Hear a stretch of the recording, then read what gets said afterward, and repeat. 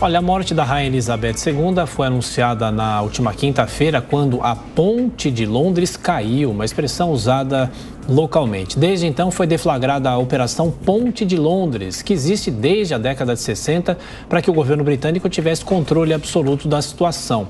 E o que o mundo vê até agora é a tradicional organização e pontualidade britânica. E para tratar sobre esses ritos do funeral da rainha e os desdobramentos do falecimento da monarca, o Jornal da Manhã recebe a professora de Relações Internacionais do IBMEC de Belo Horizonte, Marise Chons. Tudo bem, professora? Mais uma vez, muito obrigado por estar aqui conosco no Jornal da Manhã. Bem-vinda. Obrigado, obrigado pelo convite. Bom dia para vocês. Bom, a gente vem acompanhando uma organização muito grande, né, na visitação ao caixão e talvez aqui no Brasil muita gente se pergunta qual é o interesse real mesmo dos britânicos com a monarquia. Chama atenção isso, de que forma esse momento é importante para o Reino Unido? Uh, bom, é importante entender que as tradições, a cultura não pode ser vista simplesmente na chave de interesses utilitários, né? Então, uma cultura, um valor, é, não é simplesmente um objetivo final uh, baseado em um cálculo racional. É, não que não exista uma racionalidade, mas uh, os nossos valores, as nossas, a nossa moral, nem sempre uh, se dá por essa questão baseada na maximização de ganhos e minimização de perdas.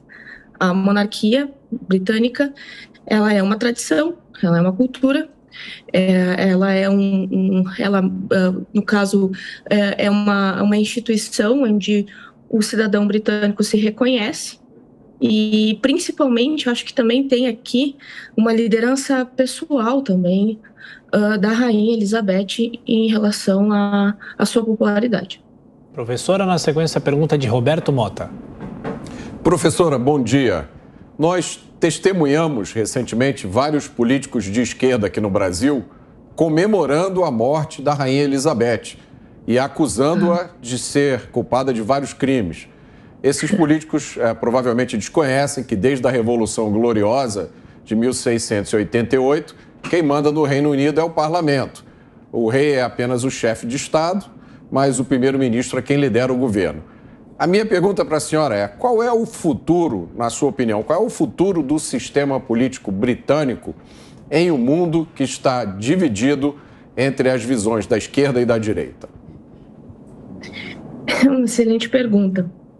É, bom, ah, as redes sociais às vezes eh, não permitem ambiguidades e ambivalências, né? É, o Reino Britânico, ou melhor, o Império Britânico, ainda a Inglaterra, é importante considerar dois pontos aqui. A instituição monarquia britânica, na verdade, ela não tem resquício medieval. Ela é uma instituição que está muito ligada ao, aos elementos que compuseram o mundo moderno, tanto o Estado Nacional, quanto a possibilidade de existir uma nação, por isso também um Estado com soberano, independente, uh, como também o elemento parlamentar que você comentou. O segundo ponto, importantíssimo aqui, é que uh, a Inglaterra, ao mesmo tempo que foi um império, Uh, obviamente não se questiona isso e, e, teve seus elementos coercitivos nas colônias, é, também foi palco de várias vanguardas no mundo. Né?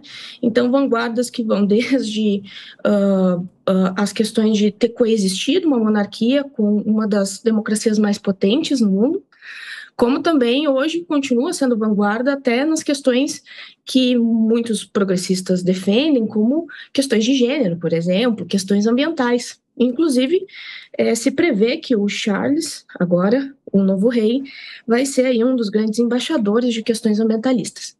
Você agora, Amanda Klein. Bom dia, professor. Acho que eu queria pegar por aí. A senhora fez uma distinção na sua primeira resposta sobre a monarquia enquanto instituição e a liderança pessoal que a Rainha Elizabeth II exercia. É possível imaginar que o, o príncipe Charles, agora rei Charles III, e você sinaliza com essa, indica com essa sua resposta de que ele pode ser uma liderança na questão ambiental, por exemplo, que tipo de, que tipo de liderança ele deve impor ao mundo? Ele deve se ater mais a questões políticas? A Rainha Elizabeth ficava, sempre assumia uma. Era, era difícil saber o posicionamento político, ela não emitia esse posicionamento político. A gente deve esperar do Charles III uma monarquia mais em sintonia com algumas questões caras à política atual, à política política moderna, como a questão ambiental, por exemplo, e que outras questões a senhora acha que devem estar à frente desse reinado? Antes dela morrer, já a gente já discutia isso, né? Que o Charles teria alguma uh, atividade, mas uma atividade muito mais envolvendo não exatamente a política em si. Claro que sempre existe algum elemento político no momento em que ele tem algum tipo de poder, pelo menos no sentido diplomático uh, de, de, de, influência, né? É, mas ele atua já com empresas privadas, com, empresa, com as, instituições filantrópicas, nesse tipo de ação. É, acho que espero que ele não não desejo ou não se trata de uma questão de desejo, de prescrição, mas imagino que possa acontecer. Sim, claro que tudo vai depender muito da reação mas sempre com o, uma característica muito típica da Inglaterra, que a Inglaterra, ela historicamente sempre decidiu por um, por um caminho do meio. Então, por exemplo, a, Igreja Anglicana foi uma decisão de um caminho do meio entre a reforma protestante e continuar vinculada a Roma e à Igreja Católica. É, o parlamentarismo foi um caminho do meio entre a Inglaterra não se tornar uma república e, no caso, continuar com a sua instituição monarquia. É, então, uh, vocês estão me ouvindo? Sim, Sim estamos.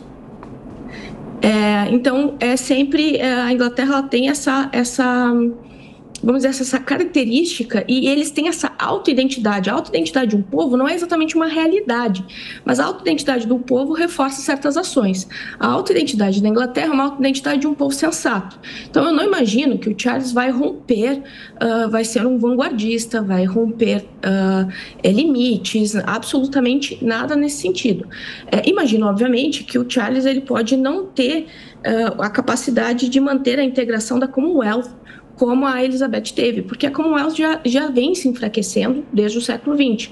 É, mas, ah, no caso da Inglaterra, não vejo nenhuma perspectiva da monarquia, por exemplo, se enfraquecer e nem mesmo essas, essas sinalizações políticas do Charles enfraquecerem a monarquia, por exemplo. Participação da professora de Relações Internacionais do IBMEC de Belo Horizonte, Marise Chons. Professor, obrigado pela gentileza, bom trabalho, até a próxima. Obrigada.